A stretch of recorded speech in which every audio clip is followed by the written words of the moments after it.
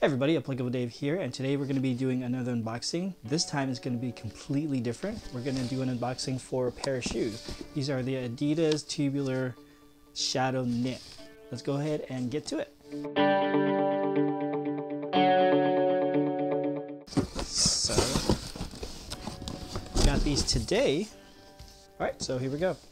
Uh, pretty simplistic box, Tubular Shadow Knit and size 10 from what I understand they are true to size so let's go ahead and open these babies up ah Alright, so here we have it guys. Come in three different colorways. We have the gray one, the black and white one, and this one, which is the tan one.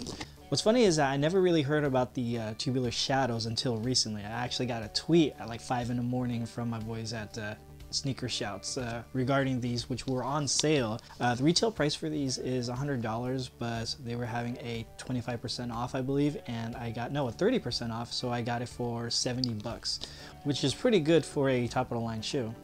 So, what do you guys think about this shoe? Uh, a lot of people say that these are the poor man's Yeezys, which I can kind of see what they're talking about, considering the, uh, the, the patterning and design, and also that the uh, the colorway, especially this one definitely has a 350 vibe to it. But um, I don't know. I'm excited to try these on. They they feel really comfortable and supremely light. Now the only complaint I have about these shoes is that it doesn't have any boost, but I don't know if that's really a justifiable complaint because I didn't buy a boost shoe. It's a, a, tubular model. And if you can see that indentation right here, that usually indicates, and if it's a Adidas shoe, it's a more of a tubular style shoe. So tell me what you guys think about these shoes. Uh, leave your comments down below and stay tuned for my uh, review of these shoes after I've worn them a couple times and did a little bit of studying. But, uh, but yeah, that's it guys. I hope you guys enjoyed the video. If you guys have any questions, make sure you leave them down below. And as always, I'll talk to you guys at the next video. Bye.